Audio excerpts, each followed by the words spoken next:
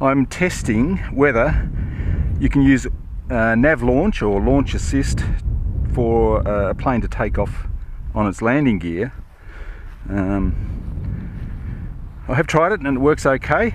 Uh, I just needed to increase the throttle a little bit and there are some more settings I can play with to, to uh, get a better response but let's just try this.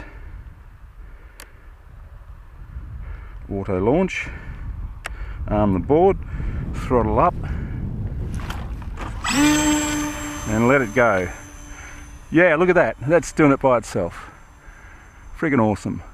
There's got to be ways to, uh, and we're in control now.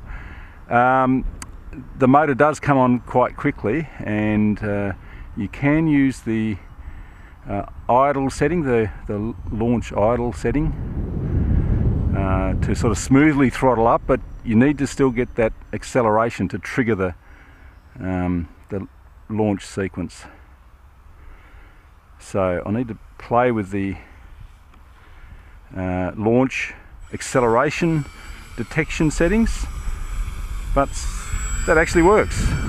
Let's try it again. It's quite windy too, really uncomfortably windy, but uh, plane is handling it. So, auto launch, arm the board, throttle stick up, give it a jerk, and it takes off. And what do we do? We'll stick into return to launch. I've got a 10 second climb out. Now it's going into return to launch. That is cool. That actually works very well. I like it.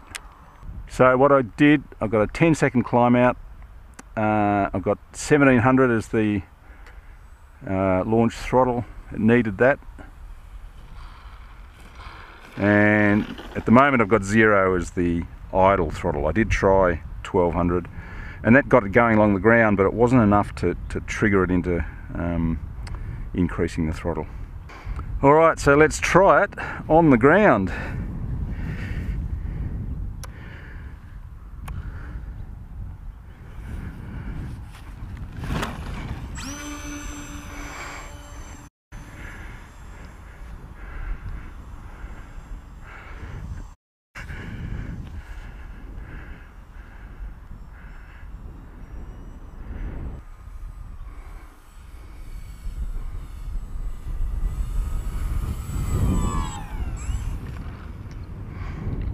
Brilliant.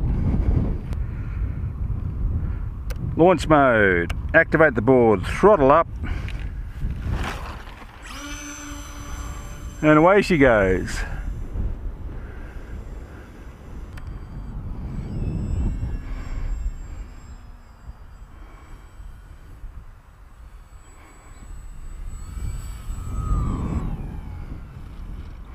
And a good landing to finish with. That's fantastic.